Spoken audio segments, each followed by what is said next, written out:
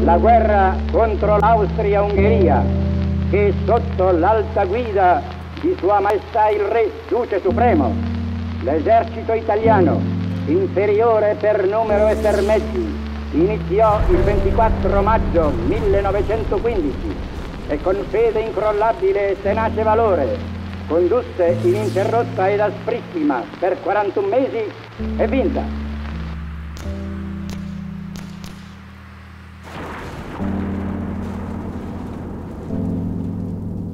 Torneranno accolti dall'indifferenza e dal silenzio. Pallidi, macilenti, con gli occhi spenti e le labbra livide.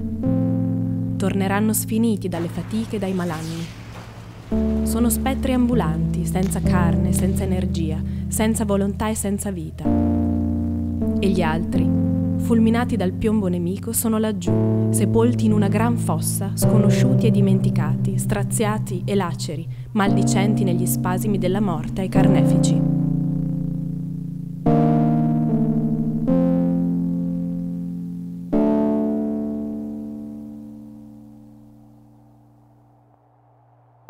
Il nostro viaggio nella città della Grande Guerra si apre con le parole di Vittorio Messerotti, un anarchico che le aveva scritte poco prima che l'Italia entrasse in guerra.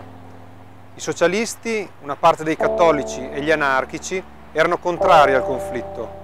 A favore erano soprattutto insegnanti e studenti delle scuole superiori, imbevuti di ideali risorgimentali ed affascinati dai temi dell'irredentismo. Molti di loro partirono volontari, convinti che la guerra sarebbe stata breve, esaltati dall'idea della bella morte sul campo dell'onore ma la morte nella Grande Guerra non fu quasi mai né bella né eroica. Alla nostra città costò quasi mille morti. Alla loro memoria sono dedicati il monumento ai caduti, qui alle mie spalle, e il Parco delle Rimembranze, un albero per ogni morto in battaglia.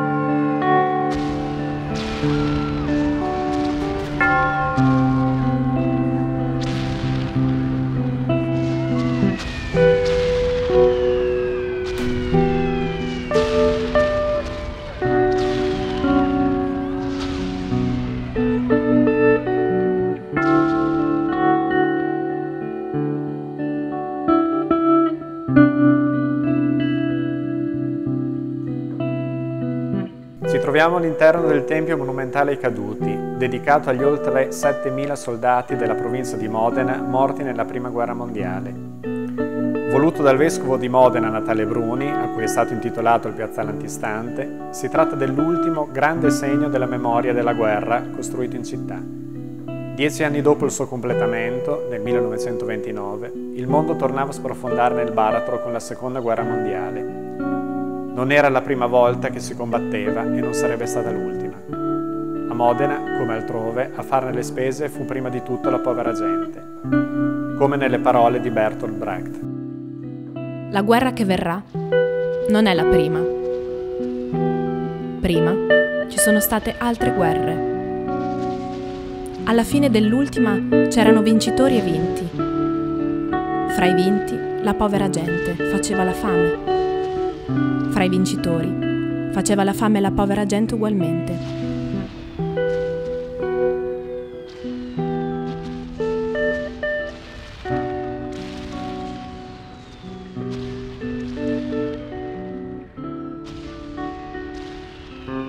Anche questa volta le autorità si trincerano dietro il più rigoroso riservo. Vecchi parla di avvistamento verso Verona, Vecchi dice, invece, verso Sant'Agata bolognese. Ma può anche trattarsi di fantasie. Certo che la campana della ghirlandina ha dato tre rintocchi d'allarme. Ed in moltissime case si sono rinnovate le scene di spavento del precedente allarme. La città era anche percorsa da numerosi gruppi di richiamati. Moltissimi di essi percorsero le vie, completamente immerse nel buio, cantando canzoni patriottiche e guerresche e tratto tratto mandando grida di Viva l'Italia ed Abbasso l'Austria. Esaltazione della guerra e paura per i suoi effetti. In questo articolo della Gazzetta dell'Emilia sono racchiusi due sentimenti opposti, entrambi presenti a Modena. Quando le campane della ghirlandina suonavano a martello nel cuore della notte, i modenesi si svegliavano con il terrore di un possibile attacco aereo, ma si trattò sempre di falsi allarmi e di esercitazioni. Nessun velivolo nemico sorvolò mai la nostra città.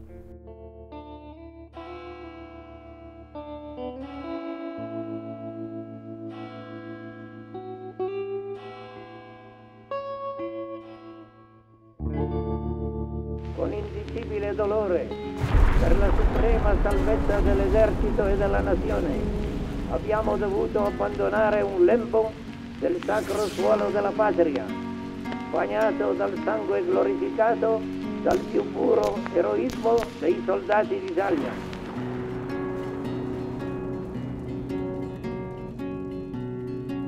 Siamo al sacrario dell'Accademia Militare, appena oltrepassato il portone d'accesso.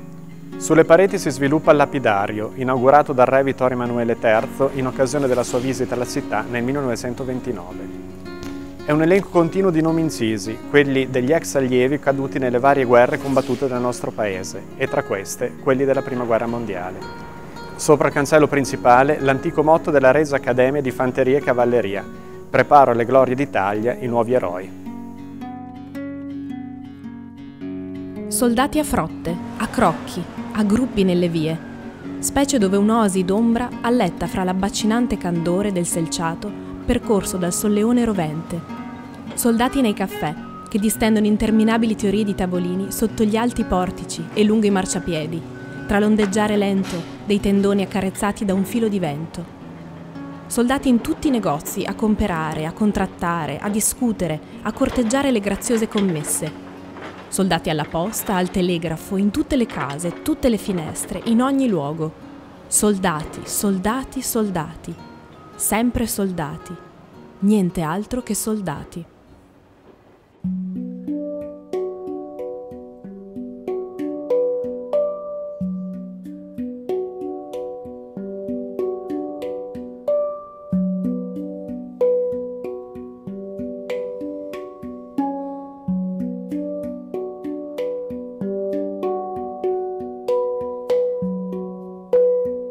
Per la cura e la rieducazione al lavoro dei mutilati e degli invalidi, sorse a Modena nel Foro Boario un centro di cura all'avanguardia. Motore dell'istituzione furono Mario e Pio Donati. Mario era considerato il miglior chirurgo tra le due guerre in Italia. Quando lo sollevammo dalla barella, lo liberammo dalle bende e dalle fasce. Gli togliemmo di dosso quella gran coperta scura che ricopre sul campo ogni barella.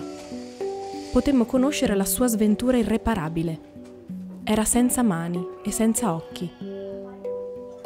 Io non ricordo un mutilato che rassomigliasse a questo. Quando agitava i suoi monconi e portava in alto e davanti a sé quelle due braccia senza mani per afferrare l'irraggiungibile, noi tremavamo di stupore e di disperazione.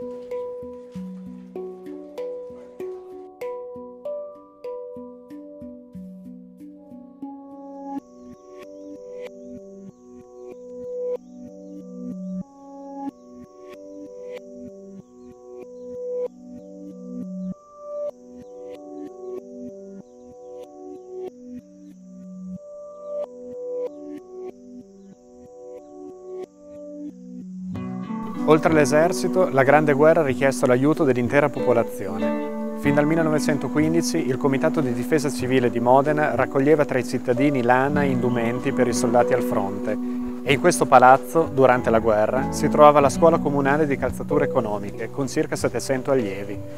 Molto trafficata era anche la strada dietro il palazzo. In via Santa Margherita c'erano infatti ben due case di meretricio, frequentatissime dai militari della vicina scuola e molto sorvegliate dalla polizia. Così parlava il prefetto. Le meretrici che dimorano nei postriboli sono sottoposte a visita sanitaria due volte alla settimana e nel detto spazio di tempo si eseguiscono altresì le visite di controllo e di sorpresa. Le prostitute clandestine subiscono settimanalmente una visita sanitaria e quella di controllo. Le donne riconosciute infette vengono subito ricoverate nella clinica dermosifilopatica per la debita cura. Le prostitute di altre province vengono rimpatriate. La fulminea arditissima avanzata del 29 Corpo di Armata su Trento, sbarrando le vie della ritirata alle armate nemiche nel Trentino, travolte all'Occidente dalle truppe della Settima Armata e ad Oriente da quelle della Prima, Sesta e Quarta, ha determinato ieri lo sfacelo totale della fronte avversaria.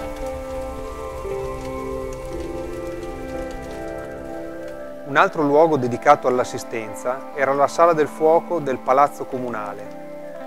È qui che si trovava la sede del Comitato Modenese per i profughi. La presenza di tante persone provenienti da lontano e bisognose di tutto fu per Modena una grande prova che il Comune e il volontariato civile riuscirono a superare egregiamente, nonostante i numerosi problemi e la diffidenza verso i nuovi arrivati.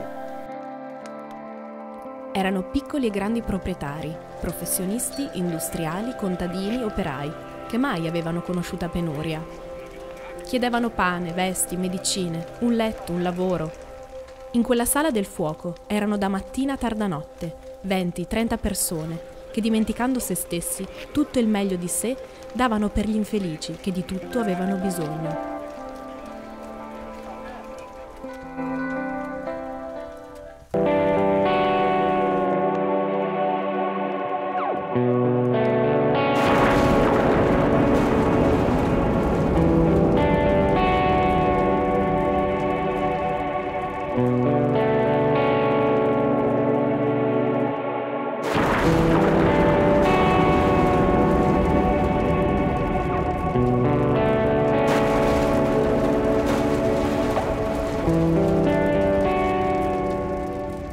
Una delle armi più forti sperimentate dalla Grande Guerra è stata quella della propaganda, per condizionare i soldati e l'opinione pubblica.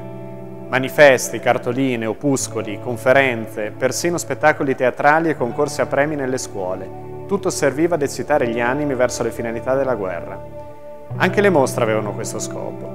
Nel 1915 ne venne organizzata una con radiografie di lesioni ossee per far capire ai modenesi l'importanza pratica della scoperta dei raggi X.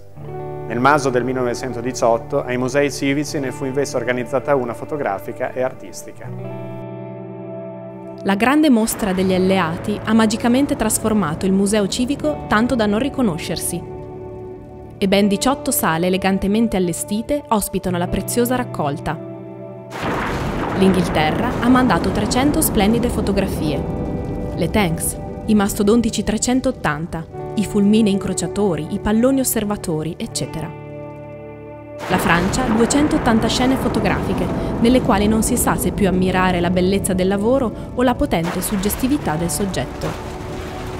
Ed il Comando Supremo ed il Ministero per la Propaganda hanno inviato 400 bellissime fotografie, nelle quali il magnifico, meraviglioso cuore che non trema del nostro soldato rifulge sempre in mille svariatissime guisa.